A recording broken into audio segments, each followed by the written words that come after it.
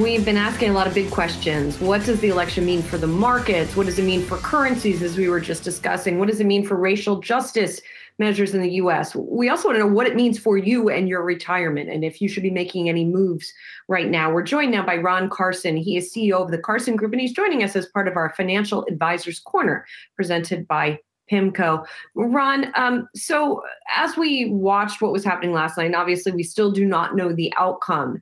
Is there anything people need to be thinking about on an individual basis uh, in terms of their 401k, in terms of their taxes, or is it too early to make any moves on that front? I think it's anytime you're making moves just around that, Julie, I think it's a fool's game. Um, I'm reminded, I've been doing this since uh, 1983. And someone once told me when I first started in the profession, the markets will do whatever it needs to do to prove the largest number of people wrong at any given moment, right? And I know people just being traveling around the country, a lot of people shifted a few months ago uh, into cash. They were really concerned about, you know, what the market was going to do. And by the way, this is the same group uh, that did it right before when when Trump won the election uh, first time around. They they moved to cash, and then of course they moved back in just as time in time for the decline. Then they move out again, and just the last few months, last five months, you know, you would have given up a 12% gain, you know, in the S&P 500, and trading activity last yesterday twice as high for 401ks. This is per, this is your long-term capital, and I want people to think about uh, the markets being a flight of stairs with a yo-yo right? In general, every day we wake up, every day we consume.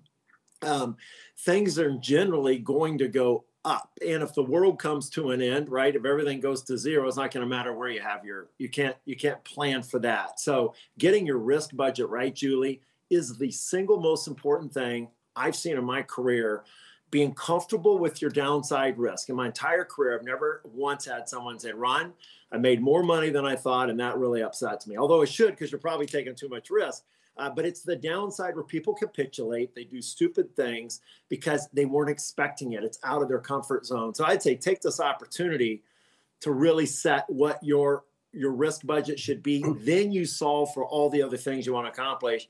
But that's a non-negotiable because if you do bad things and destroy wealth and try to time the market, um, you're going to end up on the short end of of a great retirement someday.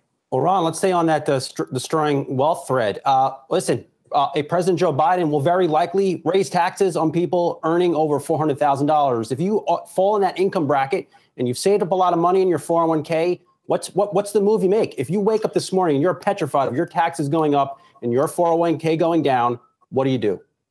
Yeah, I think if you're if you're you said the word petrified. If you're petrified, you're taking too much risk. You just are.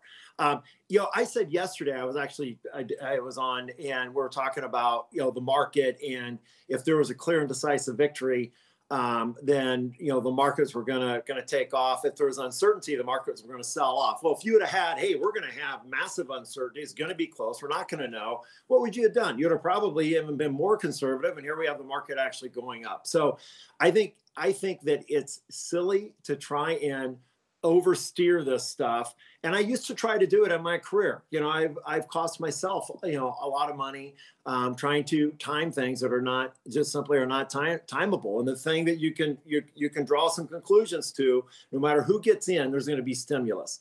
There's going to be tax changes but i think the stimulus is going to overshadow by a large margin anything happens on the tax side because we're going to have you know trillions of dollars that is going to support the market. I mean, the consumer alone over the last since the pandemic started has saved savings rate went up from 8.3% to 14.3%.